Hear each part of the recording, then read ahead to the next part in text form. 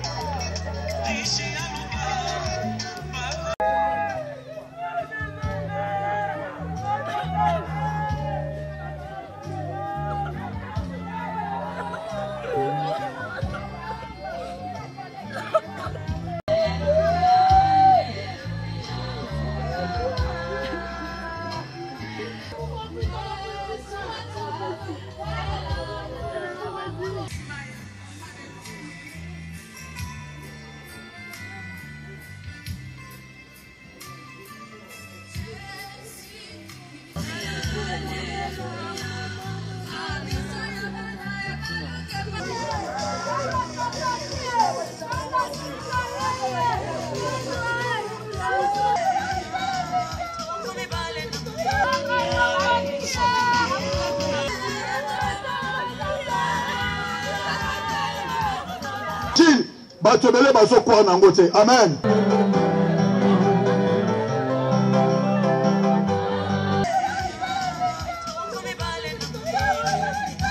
sera consacré à la prédication. Après la prédication, nous passerons au deuxième point pour les recueillements. Et après, nous allons lire la biographie de notre sœur qui nous a laissé très brutalement. Et après, nous allons passer au dépôt des gerbes des fleurs. Après cette étape, il y aura des témoignages. Alors, tout de suite là, nous demandons à toutes les personnes au baillé n'a pas fleurs, au bazar n'a bouquet de fleurs, veuillez vous annoncer pour qu'on vous enregistre. À part ça, nous allons aussi demander à toutes les personnes qui ont connu notre serre, ceux qui, ont, qui auront un mot à dire, un témoignage, venez vous faire enregistrer pour qu'on vous donne la parole quand nous serons au moment des témoignages. Après, nous allons clôturer notre cérémonie par les mots des responsables de la famille Boussembe. Alors, en attendant, nous allons rester ici. Vous allez venir vous inscrire ici pour le dépôt des gerbes des fleurs ainsi que pour euh, les témoignages. na bela nyonso kokomela biso bible ezobana biso torande grâce epa na nzambe parce que oyo nyonso ekomelaka biso nzambe nde ayebaka na kopermettre yango parce que c'est lui qui est le maître de temps et de toute circonstance amen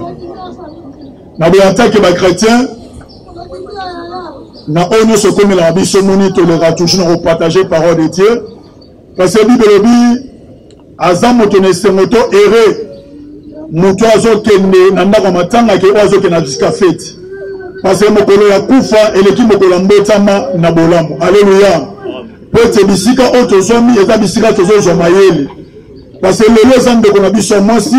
lobi ekozala mpe nga, lobi kuna ekozala mpe yo. Mais na temps oyo tozali eza moment oyo toyei kose prepare mpo na eternité na biso ezala esika ya malamu. Na mokanda ya na mokanda ya Hebreu nde tozopartage na moya lelo Hébreu chapitre 2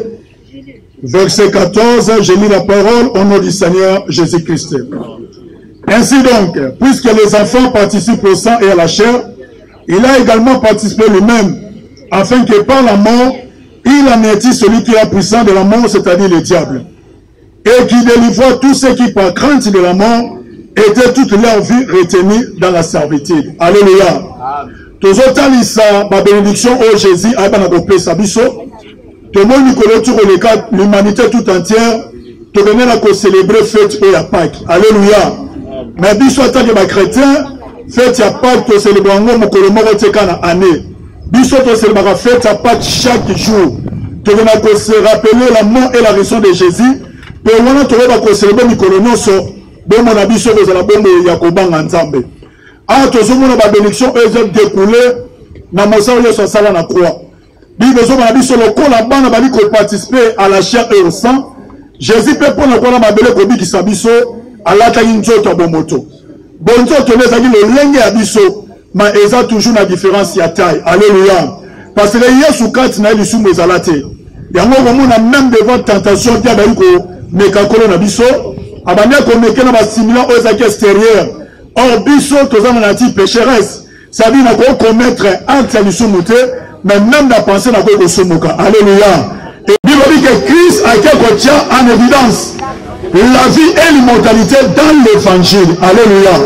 c'est-à-dire la vie okola te yango nalobi ete mokristo soki akufi aza pena nkolo et l'immortalité ezali kose refere na résurrection mokristo abeta ata soki akufi bomoi na ye nzoto kopona na mabele na molimo na ye eza liboso na nzambe aleluya na 1 corintien 1533 nde bayebisi biso maloba wana yango na bomoi na yo bien aime pesa bomoi na epai na nkolo parce que l'homme aza kaka corte l'homme aza tripartite l'homme aza na esprit L'homme aza na âme, l'homme aza na corps. Mwana selon l'ordre créationnel. Mais le péché qui n'a qu'au renverser l'autre. Au remarquer l'homme moto azo vivre pour la chair, mais aza ko négliger l'esprit. Alléluia. Or dans l'homme c'est l'esprit. Nzoto ekokotisa mabele ekoma putulu na molimo ekokende wapi na bosengi na bomo na biso topesa vi na biso epa na yesu aleluya po ete wana mokolo ya korapele biso pene na ye tozokende mpo na kopema Tozozela nzoto lozela ekozela resurrection to kozonga ya Yesu mpo ete nzoto ekundamaki faible esekwa comme un corps glorieux. Amen. Nzoto esengeli kovivre na likolo mpo apôtre Paul alobi si notre tente où nous habitons si la terre eza détruite nous avons un édifice auprès du Père. Alléluia. oyo esalama maboko ya moto te nzoto ezalaka détruite par la par la mort ndenge ndeko na biso alali yango ozomona toza na esengo parce que boyebete aza absent du corps mais aza présent devant le seigneur alleluia wana tozomona alali na biso bakristo tokokumisa nzambe mpo ete na mokili tokomona lisusu te me na ntango notre sœur aza bonne santé na trone ya nzambe pourkoi mpo ete abaki na kosalela ye amen mpo na kosilisa tozolisrango na lisolo ya riche na pauvre lazare toyebi malamu bazalaki na se mabele bazwi mibale okesana oyo azalaki riche abandi kolia kitoko kolata bilamba malamu mais pauvre oyo azalaki pene na ye anegligeaki ye soki riche wana azalaki sauve te eza te mpo azalaki mozwi moto akoyoza mozwi mais soki andimeli yesu masiya azozwa vie éternel mpe moto akozala mobola mais soki aza na yesu kati na ye te akokota na lifelo na biblia etalisi ete ntango mobola akufi bake koantere corps na ye ntango mpe riche akufi baentere corps na ye corps oyo abandaki kolatisa kitoko etikalaki ezalaki abandone na mabele me na sejour de mort bible ezoba te riche atombolaki miso likolo kuna azalaki su mozwi te alleluya azali na esika ya mpasi ebible olobi yabisi papa abraham abi abraham abraham tya mosapi na mai otangisa ngai litanga mpo ete bisika naza eza bisika ya mpasi abraham alobaki eza impossible biso na bino tokutana asengi abraham atanke intercesseur abi pere abraham tinda lazare mpo ete naza na bandeko na nga mitano batikala mokili babanga nzambe to lokola nga nakolinga te baya bisiko nga nazali aleluya honorable député distingués invités à vos titres et qualités respectifs chers parents chers membres de la famille chers frères et sœurs en Jésus-Christ, chers amis et connaissances, il est plus difficile de verser des larmes lorsqu'on perd un ami, un époux, un parent, un être cher, et j'en passe. Mais il n'est pas aisé de prononcer un oraison funèbre à l'occasion du décès d'une personne qui s'en va sans crier gare, sans dire un mot bienveillant à tous ceux qui l'ont connu. Aimé, soyez, pour un univers encore inconnu, où seul le mort traverse, hélas, ses murs épais pour un silence cadavérique. Certes, l'exercice est plus difficile en pareille circonstances. Je le fais avec pincement au cœur. Je le fais avec une douleur terrible pour la personne de Sandra qui nous quitte, qui s'en va sans dire un mot à ses parents, à ses amis. Ah, la mort. Qu'est-ce que tu es méchante. Ah, la mort. Pourquoi tu as fait ça Ah, la mort. Pas elle. Ce n'est pas le moment mais Sandra, tu nous quittes. C'est pourquoi nous disons ceci. Elle nous quitte prématurément dans la nuit du 10 au 11 avril 2021 à la clinique Ngalema de suite d'une maladie. Sandra, de son vrai nom, Sandra Kingodi Alima Bosembe fille de papa Bosembe, Kanga Philippe, et de maman Saïdati Idi Mokombe. Sandra est née à Goma le 15 août 1988. Elle est morte très jeune, à l'âge de 33 ans. Ah, quelle peine Originaire de la province de l'Équateur, district de l'Équateur, territoire de Bassan Koussou, secteur de l'Ilangi, village de Ikanga, Yonda. Elle était une jeune commerçante et une bonne chrétienne, fervente chrétienne à l'église Temple de la Grâce, où elle était chambre.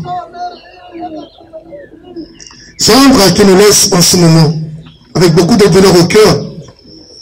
était une fille de ses parents qui a étudié à l'école primaire à l'Institut Saint Gavira de l'Ozone, qui a fait ses humanités à l'Institut Mokengeli de Limba. Et ses études universitaires, elle part avec son titre de gradué en management de l'ISC Gombe. Elle nous quitte à fleur d'âge la mort l'a emporté à notre triste distraction. Elle nous laisse tous orphelins à un degré quelconque. Tous ceux qui ont connu Sandra, ici présents, sont unanimes. Que tous puissions garder une pensée pieuse à l'égard de Sandra,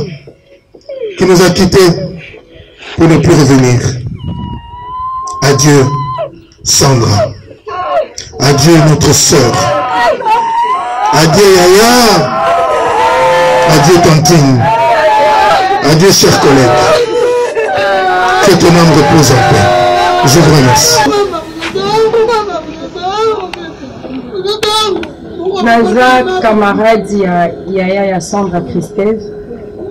nayebi sandra depuis 2009 sandra topasse bamoment moko na ye ensemble e yaya na ye partout oyo azwi ndako tozalaki na sandra na biso nyonso eza na motu moko aza lokola sandre azalaki te sandre c'est une fille modèle na biso nyonso tozalaki ensemble plus de 10 personnes ndako moko depuis 2014 tina ndenge akufi sandra donc maloba ezozanga maloba ezozanga parce que Sandra apesi biso pasi moko tokoki ko moyen kolomba ngo eza te Sandra soki abandi prière aobanda prière de 2 heures du matin à 5 heures 30 heure moko bokomi kutu kotumola yango Sandra eza nini aoyebisa bino alobi nga bilei na nga kolia eza nzambe Donc on a liaka ye chaque jour po sans nzambe eza mobulu. Sandra aza alamukaka 6 heures 6 heures abandi na douche asilisi douche akoti na cuisine cuisine akoti na salon salon asengi bino bilamba akodispute te une fille serviable accueillante okotinda sandra ata 10 fois par jour aokenda kolemba te akomurmure mpe te mais sandra abandi maladi malaria abeli biso donc ti ndenge memi ye boye moi je connu sandra une femme forte epuis ntango baobenga nga vendredi ke sandra aobenga nga nayebi ke sandra akosurmonte liwa parce que c'est une fille qui prie beaucoup Babandaki ko penser te que Sandra aliwe koya ko emporter be sans rien dire un mot. Mais Nzambe ye moko ayebi ba souvenir eza ebele Sandra va en paix. Voilà, c'est l'honorable élu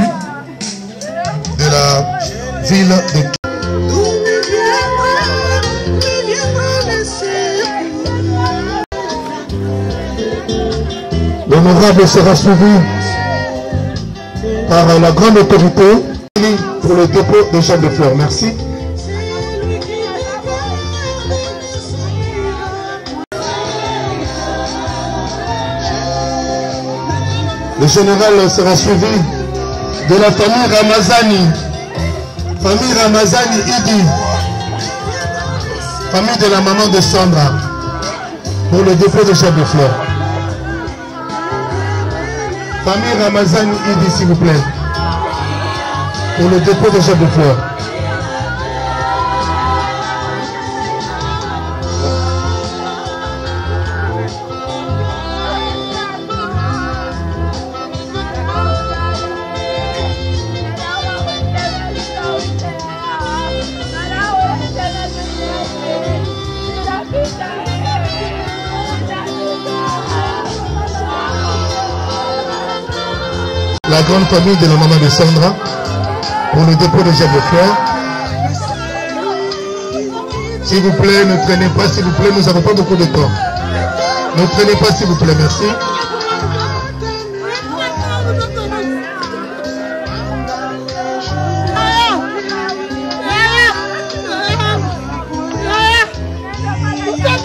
totambusa makolo s'il vous plaît totambusa makolo ntango oza moke merci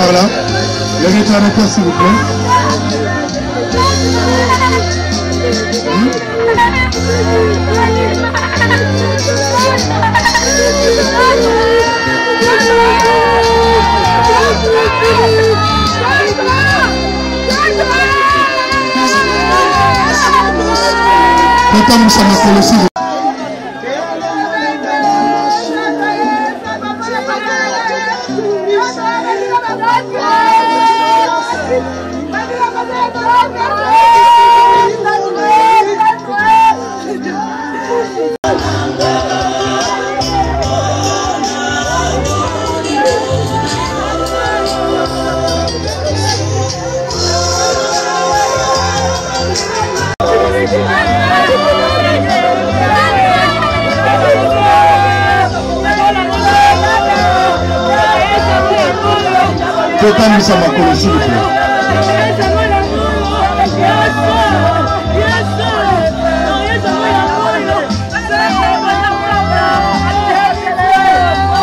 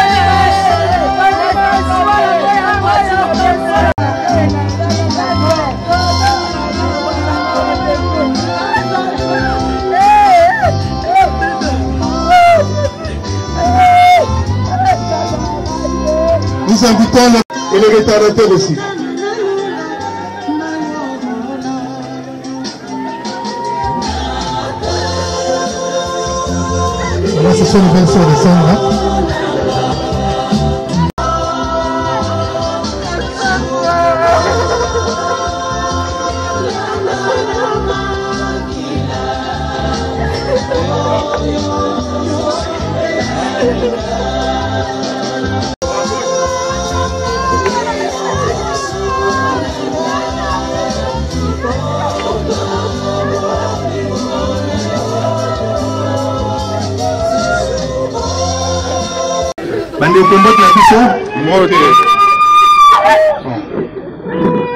bolandaki programme nyonso ndenge epesamaki na modérateur alors sikoyo tokomi na etape ya suka etape ya suka c'est-à-dire ngai mokonzi ya famille nakokakola banayebisa bino programme ndenge ezali na eloko nini tokosala alors natambolaka mingi na mwana ngai na makambo nyonso tu yo oyo atelemi natikeli ye parole po ke akoka koloba na place na ngai merci merci papa ya koloba ezali te topesi bino merci ndenge boyaki kokonsole biso banda kufa ya ndeko na biso sandra sandra atiki biso affaire de lage mpe boyaki bokonsolaki biso na mikolo nyonso oyo tozalaki na kitambo presence na bino ezalaki consolation monene mpo na biso mingi ya koloba ezali te toza kokende kobomba nzoto ya ndeko na biso na cimetiere topesi bino merci ntango tokozonga kuna tokoleka na kitambo esika tozalaki na matanga mpo na bain de consolation tosuki wana tozokenda na cimetiere ya bikole soki touti toleki na bitambo esika matango ezalaki mpo na bede consolation tosuki wana topesi biso merci bino papa kobungisa mwana na age oyo yawe nayebi ete eza mpasi na kati ya motema kasi oyo atongaka bapota motema eza kaka yo nzambalola kende kopesa makasi na bomo ya mama kende kopesa makasi mpe na libota ya papa nzambe alola tika ete yawe evenema oyo topepto nzambe alola ekabola libota te nzambe abikamwa yawe kasi balia na bango sene eza sur renforce mpo ete toyebi na bamoma boye monguna akotaka mpo ete adivise lisusu mpo ete balibota babika na kati na kimia te yawe lokola makambo oyo tobandaki na yo toyebi ete tokosuka mpe elongo na yo kimia ezala libota papa mpe na libota mama nzambe alola seigneur yawe oyo esalami lelo papa ekoka soki kosalama te na kati ya libota oyo bana na kati ya libota oyo papa bakola ya basi ya mibali seigneur bavivre longtemps na se na mabele la mort sibite mort prématuré ezala partage ya bango te nkolo bolingo ya solo emonisama yawe mpe natiki bandeko yawe oyo nyonso batikaki libota oyo te na moma ya detresse oyo nzambe balola bapusanaki nkolo bamisusu yawe mpo na kopesa makasi na moral na nzela baconseil bamisusu bayebai mpe kocontribue financièrement kolokanisela bango nzambe likamwa sala bango mpe bolamu na yo nake korekomande seigneur deplacement na biso kolongwa esika oyo kino na cimetière mpe retour na biso nkolo yo oyeba na koasire yango epane biso na makama mpe na baksida lolenge tokokende na cimetière tokozonga biso nyonso mpe na lie oyo yango ezali choisir mpo ete matanga yeba na kopanzana nyonso keleka kati na kimia ya monazo esika te aksida ezala mosika na biso kimia na etambwa na biso yawe mpe etika na kati ya libota oyo mobimba na nkombo na yesu masiya banso tolobi merci seigneur jésus christ merci seigneur jésus amen amen ezali te nde nasengi biso banso motema moko totelema ezalaka mituna etozwaka miyoki te